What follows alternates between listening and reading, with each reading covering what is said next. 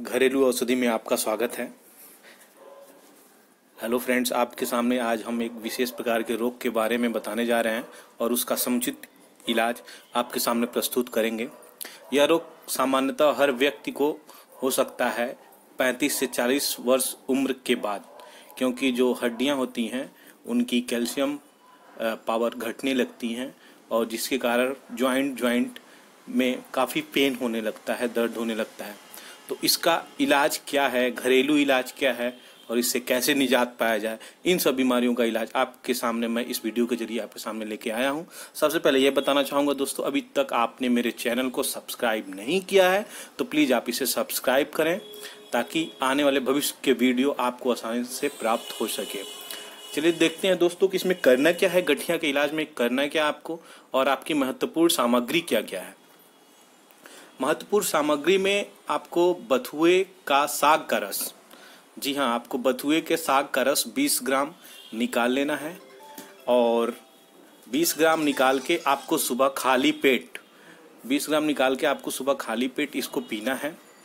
चाहे सुबह पीजिए और चाहे शाम पीजिए, हो सकता है तो आप दोनों टाइम पीजिए, लेकिन विशेष ध्यान रहे, बथुए का साग का रस 20 ग्राम से अधिक नहीं होना चाहिए। और इसको लेने के बाद दो घंटे तक आप कुछ खाएँ, पिए नहीं। ये ध्यान ज़रूर रहे। ये तो प्रथम प्रक्रिया हो गई। दूसरा, आप ये भी कर सकते हैं। अमरूद का नया पत्ती, जो नई नई कली निकलती है अमरूद की, उसे लेके आप पीस लें और उसमें काला नमक डाल के और उसकी दो पत्तियों को डेली दो दो से तीन महीने तक खाएँ। तीसरा उपाय ये है कि लहसुन का आठ कली छील के दूध में डाल के, दूध में डाल के और उसे पिए।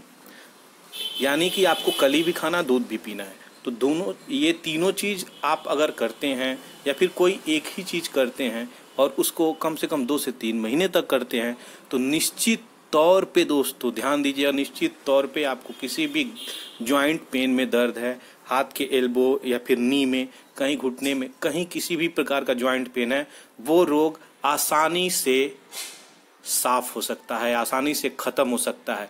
आप देख सकते हैं यहाँ पे बथुए का साग और बथुए का साग के बाद आपको ये अमरूद का कली और फिर लहसन।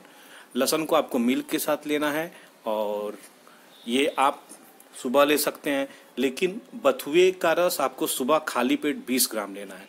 बथुए का रस काफ़ी कारगर है जॉइंट पेन में। और ये अगर एक तीनों में से कोई एक भी करना चाहे, तीनों में से कोई एक कर सकते हैं आप, जो काफ़ी फ़ायदा करेगा ज्वाइंट पेन में दोस्तों। बथुए का और भी कई प्रकार, कई मॉडल से आप प्रयोग कर सकते हैं। उनके कई सारे मोड्स हैं। अब बथुए को आटे में गूंथ के भी खा सकते हैं, बथुए की पूड़ी भी बनवा के खा सकते हैं। तो बथुए का शाग भी बनता है, वो भी खा सकते हैं। यानी अधिक से अधिक मात्रा में बथुए का प्रयोग। लेकिन अगर सुबह आप इसका केवल साग का रस पीते हैं 20 ग्राम तो काफ़ी फ़ायदेमंद होगा दोस्तों। इसलिए ये सब चीज़ें आपके सामने मैं लेके आया हूँ। बथुए का साग का रस तो ज्वाइंट के लिए रामबाण है दोस्तों। इसलिए आप लोगों से मेरा आग्रह रहेगा कि इन सब बीमारियों के लिए ये सब औषधि ट्राई कीजिए। और आप भयानक गठिया के इलाज आपके सामने मैं लेके आया हूँ। तो इससे आप लाभ उठाएँ। धन्यवाद दोस्तों।